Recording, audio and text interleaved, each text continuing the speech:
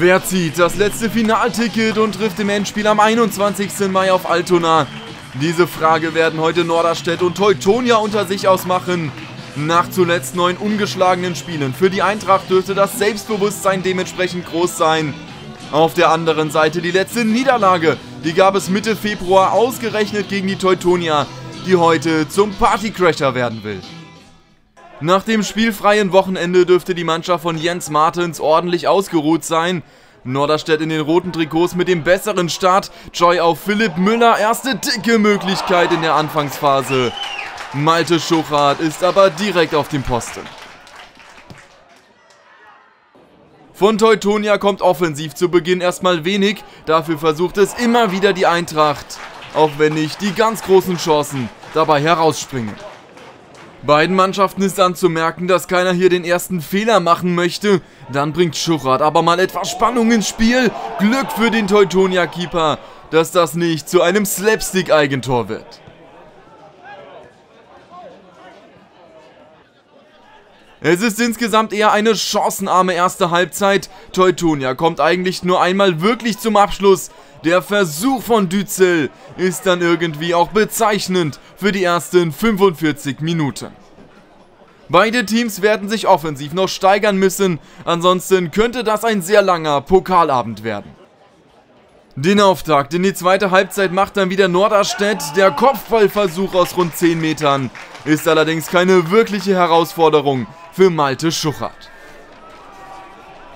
Wenn es bislang vor dem Tor der Eintracht gefährlich wurde, dann liegt das daran, dass sich Norderstedt selbst in Gefahr bringt.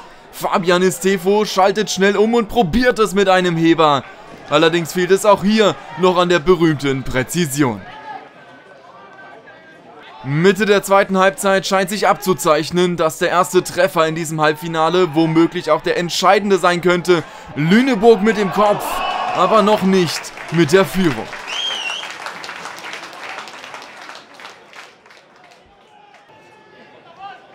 Wenn eine Mannschaft dem Tor näher ist, dann ist das definitiv die Eintracht. Der Abstoß wird zum Boomerang und sofort geht es wieder in die andere Richtung. Kein Foul von Saad. Und dann wartet in der Mitte Müller, aber in höchster Not Weißmann mit der Grätsche. Klasse Rettungsstart des 24-Jährigen.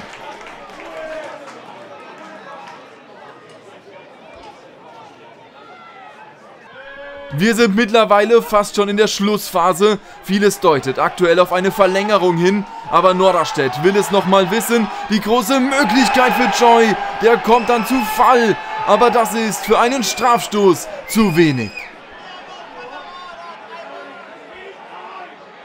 Der Druck nimmt jetzt immer weiter zu. Nächste Standardsituation, diesmal Lüneburg mit dem Kopfball. Aber der Ball will einfach noch nicht aufs Tor.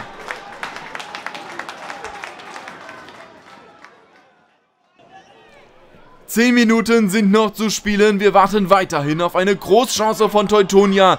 Aber die wird kommen. Kein Foul, sagt Schiedsrichter Rosin. Dadurch etwas Platz auf der linken Seite. Und jetzt kommt der Auftritt von George Kelbel. Es ist die beste Chance für Teutonia bislang im gesamten Spiel. Aber Rakocevic macht das auch im Tor richtig stark.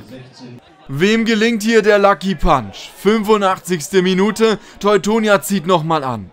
Can Dützel schickt Upov auf die Reise. Die Flanke, eigentlich was für Rakucevic, aber der lässt den Ball fallen und Mats Wacklam sagt artig Danke. Was für ein bitterer Moment für Norderstedt. Eben noch Rakucevic mit der starken Parade und jetzt mit diesem Fehler.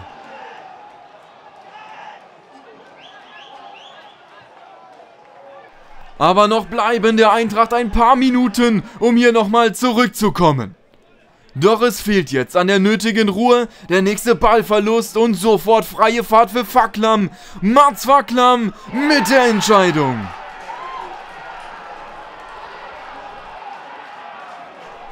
Es ist heute der Tag des 25-jährigen Angreifers. Diesmal ist Rakocevic ohne jede Chance.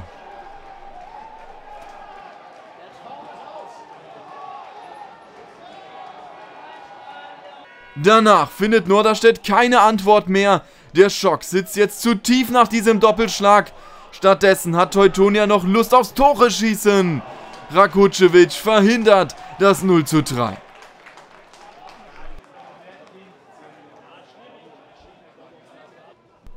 Das wäre am Ende auch deutlich zu hoch gewesen, denn Norderstedt war über lange Strecken die bessere Mannschaft, hat es aber einfach verpasst, einen Treffer zu erzielen. So folgt Teutonia Altona ins Finale. Die Stimmen zu dieser Partie eingefangen von Christian Oldendorf. Ja, was heißt das perfekte Spiel? Also klar freue ich mich, dass ich zwei Tore gemacht habe, aber wäre mir im Endeffekt auch egal gewesen. Hauptsache wir gewinnen. Wir wollten unbedingt ins Finale. Das haben wir jetzt geschafft und ja, das freut uns einfach ungemein. Ja, die Enttäuschung ist riesengroß. Wir haben der Mannschaft gerade in der Kabine, wo natürlich alle jetzt mit hängenden Köpfen, Köpfen sitzen, weil selbstverständlich haben wir uns viel vorgenommen, wollten nochmal wieder ins Finale. Äh, haben sicherlich 80 Minuten hier auch eine dominante Partie gespielt, aber haben es eben nicht geschafft, wie im Verlauf der Saison häufiger, den entscheidenden Punch vorne zu setzen. Es waren einige Chancen da, wo wir hätten in Führung gehen können. Das haben wir äh, nicht geschafft und haben im Gegenzug dann in der 82. Minute äh, einen Fehler, den wir hinten machen, obwohl wir hinten sonst auch gut verteidigt haben, denn der Gegner, wie gesagt, hat nicht so viele Chancen bis dahin gehabt. Und dann machen wir natürlich einen und das ist dann auch schon der spielentscheidende Fehler. Der Jubel ist bei der Teutonia natürlich grenzenlos. Nach neun ungeschlagenen Spielen werden die Gäste also wieder zum Partycrasher.